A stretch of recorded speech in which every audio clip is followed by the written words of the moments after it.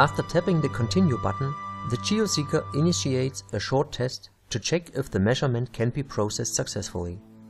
If so, it starts measuring. After measuring the first scan point in a depth of 5 meters, you see the results on screen.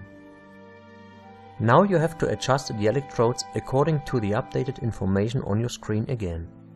As you can read, you must increase the distance of the power electrodes, indicated by letter A. You have to move the electrodes to cable marker 2. After moving the electrodes, push the Continue button to start another test and measuring process at 10 meters depth. Now you notice that you have to move the power electrodes to cable marker 3, which you will find after unrolling the power cable drum 15 meters in total. So let's replace the electrodes to cable marker 3 now. Push the Continue button again to start another test and measuring process at 15 meters depth. Now you've finished measuring the first scan point, and you have to move all electrodes together with your equipment to the next scan point. Push the Continue button to measure scan point 2 in a depth of 15 meters. Move the power electrodes inwards to cable marker 2. Push the Continue button to measure scan point 2 in a depth of 10 meters. Move the power electrodes inwards to cable marker 1. Push the Continue button to measure scan point 2 in a depth of 5 meters. As indicated on screen, you now have to move everything to the next, the third, scan point. You may realize that the whole procedure is repeated over and over again, until the complete scan field has been processed. So let's move your equipment to the next scan point. As soon as everything is in place, push the Continue button to start another scanning pass. Again you have to move the power electrodes outwards to cable marker 2.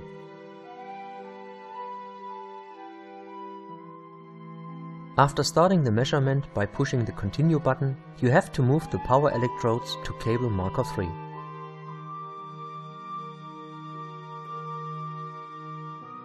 After preparing the next scan, push the Continue button. But this time GeoSeeker will only do a check, but no measuring. So what happened? Let's have a look at the screen instructions. You see that you should move the voltage electrodes, indicated by letter B, to cable marker 7.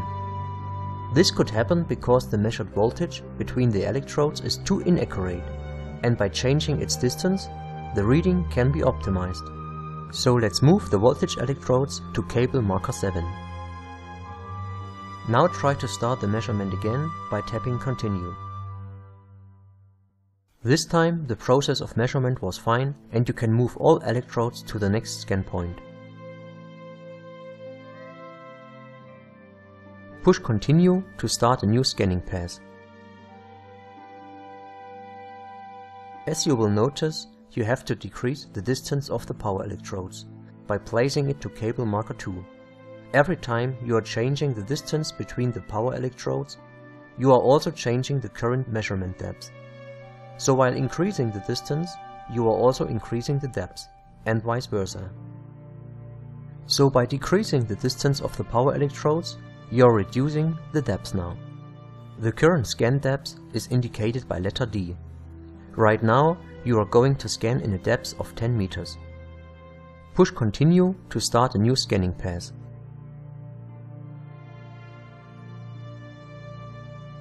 Again you must reduce the distance of the power electrodes to measure now in a depth of 5 meters.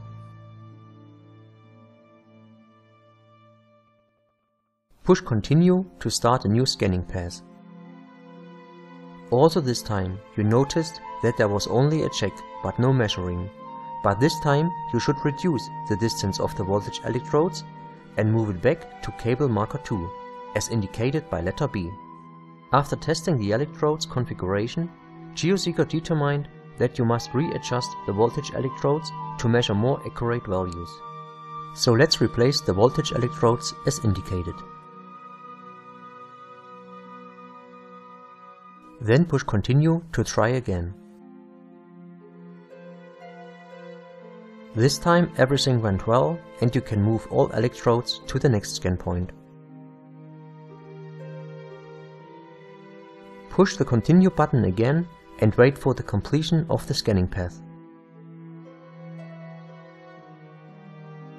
As indicated, move the power electrodes to cable marker 2 and start a new scanning path.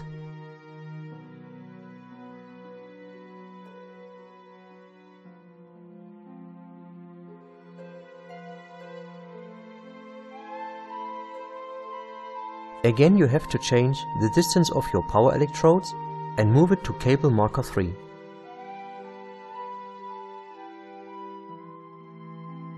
Continue your measurement. And obviously there are some more adjustments necessary. You need to increase the distance of the voltage electrodes once more. Move it to cable marker 7 as indicated by letter B. So replace the voltage electrodes and try again.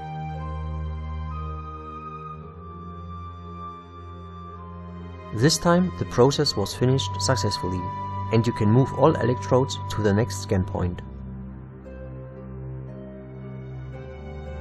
Push continue to start a new scanning path. Readjust your electrodes for the next scanning path as indicated and push the continue button once more.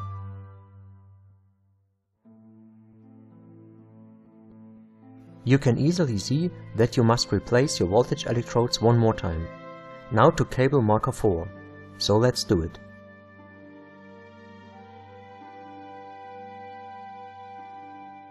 Push continue to start a new scanning path.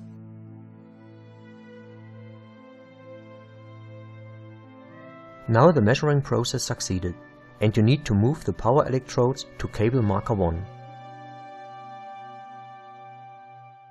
Continue scanning by pushing the button. Once more you have to adjust the voltage electrodes by moving it to cable marker 2. Continue scanning by pushing the button. This time measuring went well and you can move all electrodes to the next scan point. Let's speed up a little bit and watch the next scanning passes.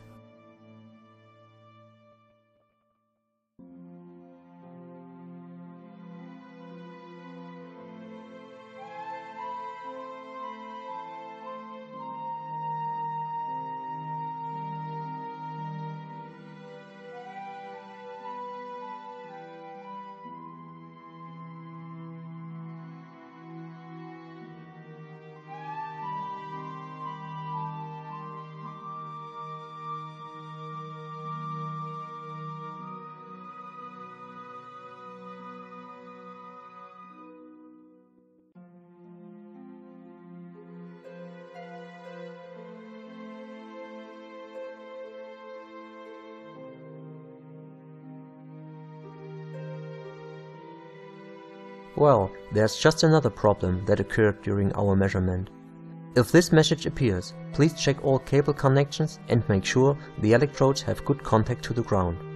Most probably there's just a loose cable that needs to be plugged in correctly. Please tap on cancel to be able to repeat the whole process, including a new check. If you tap on continue anyway, the device starts measuring immediately, without testing again.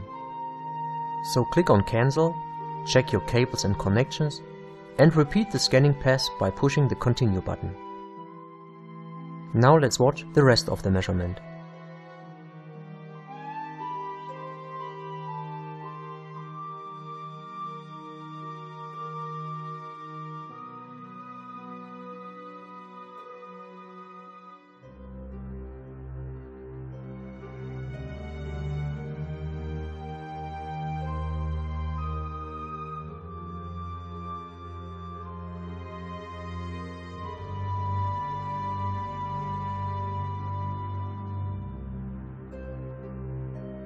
After all scan points are measured completely, you will get a success message.